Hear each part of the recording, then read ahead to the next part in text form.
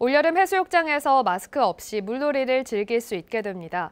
제주도에 따르면 다음 달 1일부터 해수욕장 12곳이 개장하는 가운데 사회적 거리두기 해제로 물 안과 밖에서 마스크를 쓰지 않고 해수욕을 즐길 수 있습니다.